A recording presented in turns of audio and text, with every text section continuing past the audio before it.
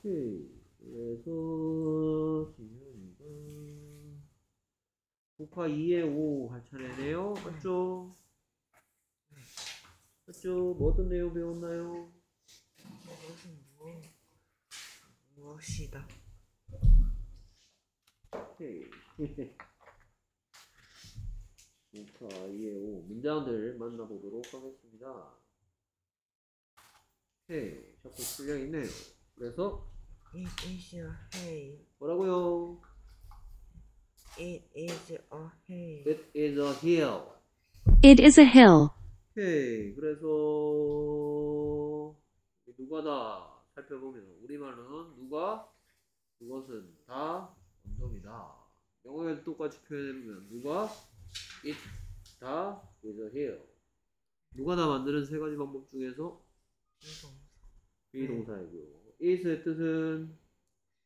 그것은 이란 뜻으로서 남자도 아니고 여자도 아닌 또는 남자인지 여자인지 알 수 없는 것 여럿이에요 하나예요? 하나죠. 자 he의 뜻은? 언더. 언더. 그럼 무슨 시예요? 이름시. 이름씨 어떤 것의 이름이죠? 음.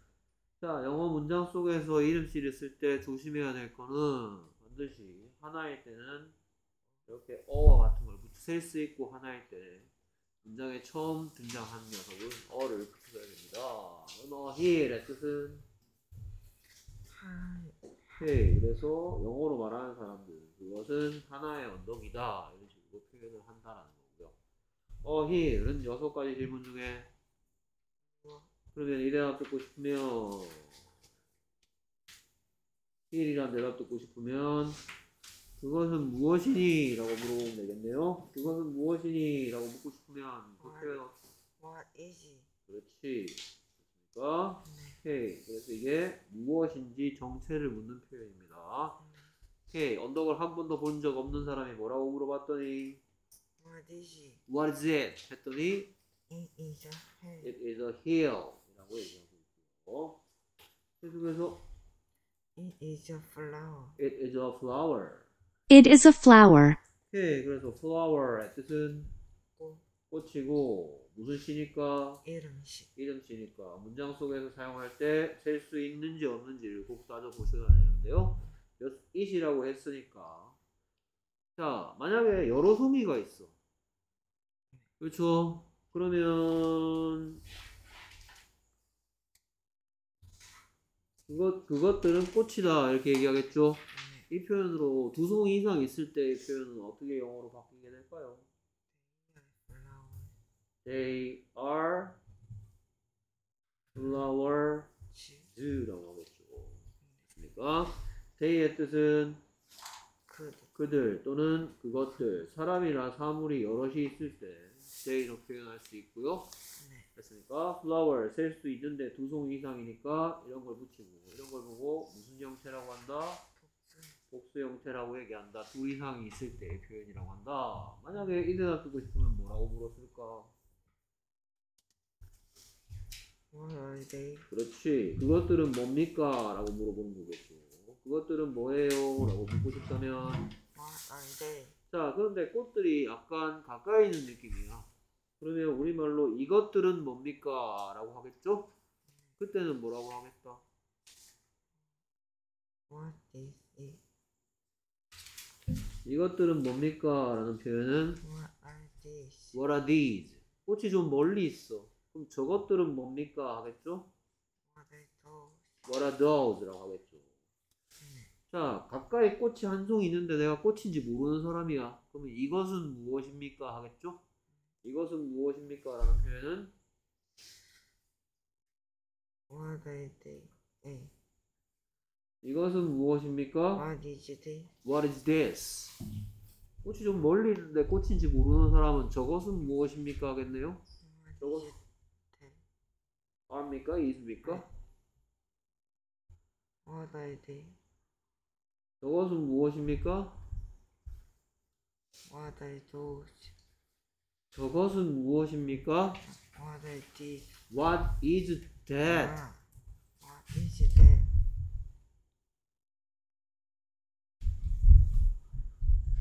오케이.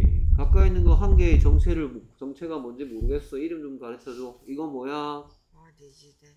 What is this? 가까이 있는 거라 그랬습니다. 이거 뭐야? What is this? 저거 뭐야? What is that? 오케이. 이것들 뭐야? What are they?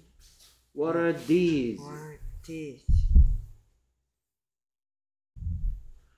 저것들 뭐야? What are those? What are those? These하고 those는 these는 다른 점과 같은 점 얘기하겠습니다. 일단 다른 점 these는 어디에 있는 느낌이다. 가까이 those는 어디에 있는 느낌이다. 멀리 오케이 공통점 얘들 둘 다 둘 이상이니까 안만 길어봤자 they 그러니까 비동사 뭐랑 같이 사용해야 된다. are 그래서 이것들은 무엇입니까? What are they? 네. What are These these? 저것들은 뭡니까? What are those? 하지만 이번엔 비교해서 가까이 있는 거 어, 잠깐만요. 왜 지맘대로 왔다 갔다 하지?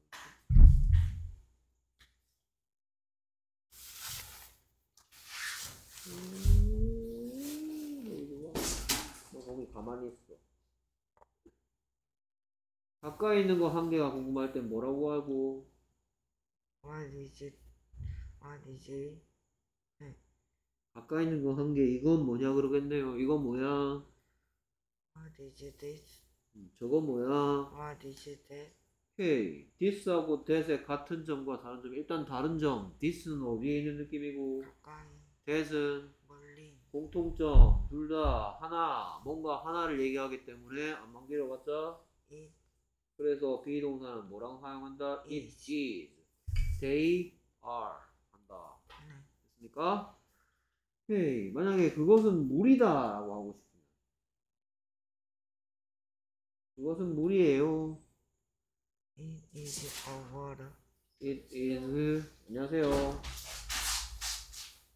그것은 물이다. 괜찮아 이제 좀. 오케이 그것은 물입니다. It is water. It is water. It is 오케이 아까 전에 지현이는 It is a water라고 한 것 같은데 왜 a water라고 하지 않을까요? 쉴수 없어서. 할 수 없는데 하나라고 어떻게 얘기합니까? 우리말과 영어의 다른 점입니다. 네. 오케이 그다음 계속해서 It is a nest. It is a nest.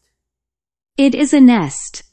오케이. 그래서 만약에 둥지가 두 개 이상이라면 뭐라고 얘기했겠다? They are nest. Nest라고 얘기했겠죠. 됐습니까? 오케이. 그래서 a nest란 대답 듣고 싶어. 뭐라고 물어봤겠다? What what is it? What is it? 그 둥지가 좀 멀리 있다. What what oh, what is it? 그렇지. 저건 뭐냐? 이렇게 바뀌겠죠. 네. 저거 뭐니? What is it? What is that? 했더니 It is a nest. 라고 답하는 상황이 될 수도 있겠네요. 계속해서 It is a bird. It is a bird. It is a bird. 오케이. 예. It is a letter. It is a letter. It is a letter. 오케이. It is a stick. It is a stick. It is a stick. 오케이. 만약에 막대기가 두 개 이상 있다면 They are stick. They are 그다음 뭐라고요? Stick. sticks. 하겠죠. 그것들은 막대기들입니다. They are stick. 오케이. 그래서 멀리 여러 개가 있어. 멀리 여러 개. 그럼 뭐라고 물어봤겠다. 뭔지 모르겠어 근데.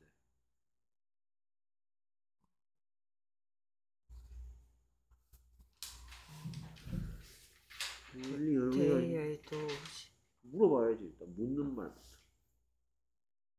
What are those? 그렇지. 저것들 뭐냐고 물어봤겠죠. 네. 저것들은 뭐래요? What are those? 그랬더니 새야 새. They they are bird. They are 그렇지. 뭐라고요? They are bird. birds. 됐습니까? 네, 재현이 가르쳐 준 거 잘 기억, 잘 이해하고 있네요. 다만 these하고 those하고 this하고 that은 좀 이제는 좀 알 때 됐어. 네. 가까이 있는 거 한 개, This. this. This. 멀리 있는 거 한 개, That. that. 가까이 있는 거 여러 개? 또 네. these these. this하고 발음 비슷해. these. 대신 이렇게 써. 이것들. these. 멀리 있는 거 여러 개? those. those. 오케이. 잘했고요. 만약에 음, 어, 그것은 의자다라고 하고 싶으면 it is a chair 그것은 나의 의자라고 하고 싶으면. it is my chair 라고 했겠죠. 음, 쓰기 시험 오, 다 말하네요. 수고했습니다. 쓰기 말하기